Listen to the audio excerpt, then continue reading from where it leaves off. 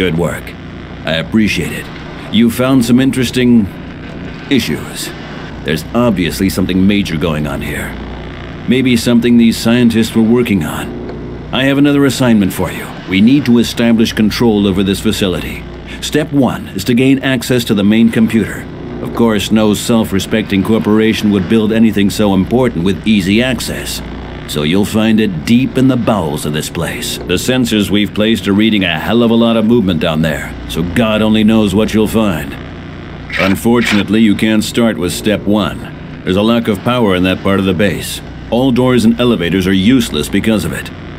The main generator needs to be brought back online. Passageway to it is blocked, but the engineers have found a path through the sewers that you can take. Find and activate the power generator.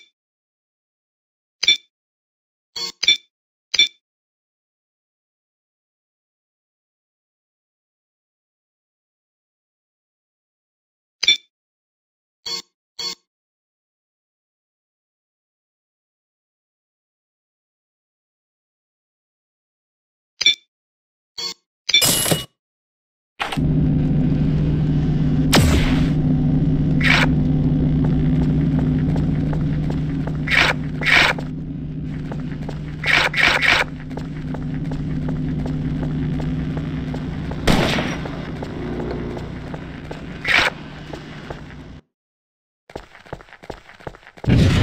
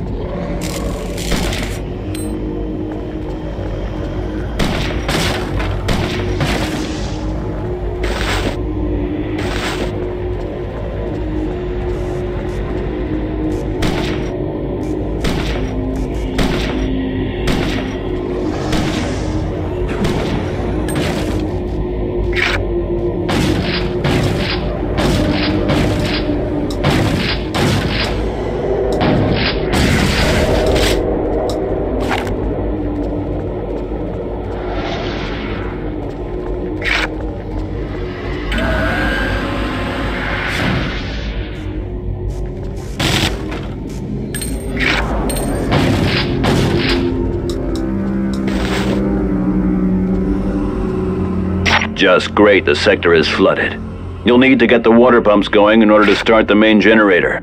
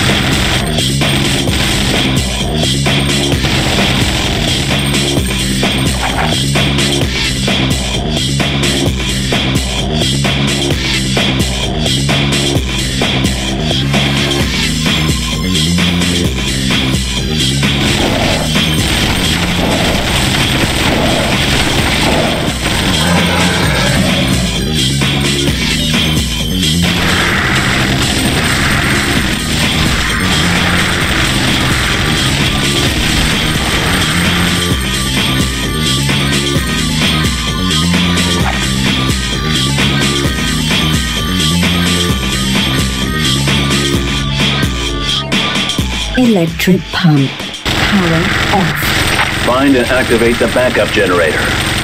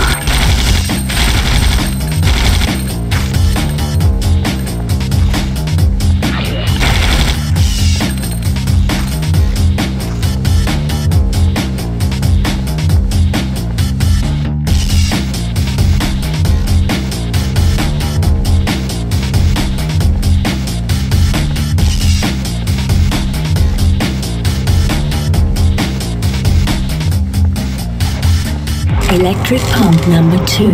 Active.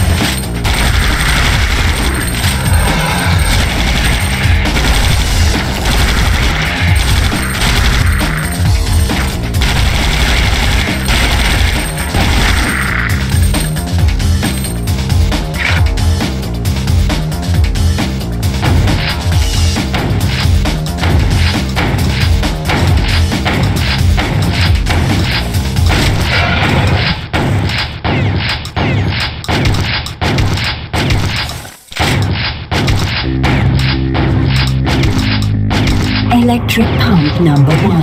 Active. The water has been pumped out. Now go for the main generator.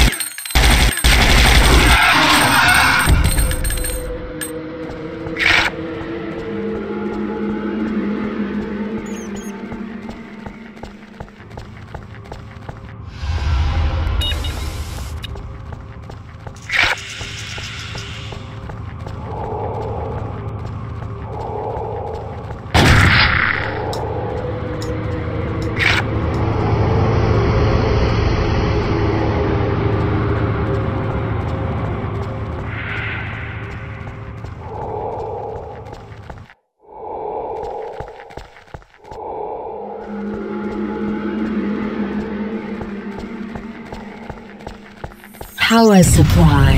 Status active.